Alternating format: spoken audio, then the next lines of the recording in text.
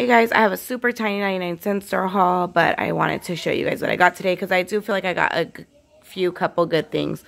Um, Lorelei, 17, and I believe Kennedy hauled the teas. Um, I love lemon zinger tea when I don't feel good. Like, seriously. I feel like it's a I guess the thing from when I was little, like I swear this makes me feel better, but I think it's because when I was little, my mom would um, have me take a bath so I was nice and warm, and then she'd give me a little bit of tea before I went to bed, and it was always the lemon zinger. So when I saw this, I had to buy it. I was like, I need some tea. Not that I'm sick, and not that I plan on getting sick, but I definitely wanted some, so I did pick some of that one up. I picked up some raspberries. They looked really yummy. So I got raspberries, I got cucumbers, I got lettuce, I got green onion.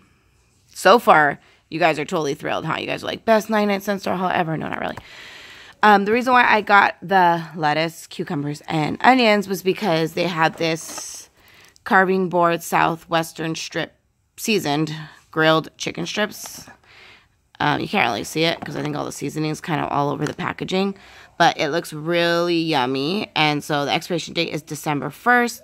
Um, so actually, I got the lettuce and all that because I'm going to make lettuce wraps with that chicken. So that's actually why I bought all that.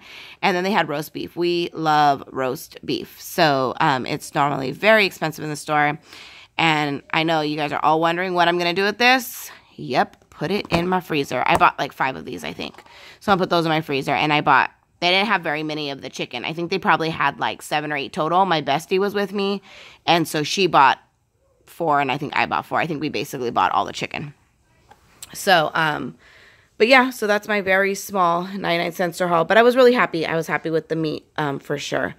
All right, guys, I will talk to you later.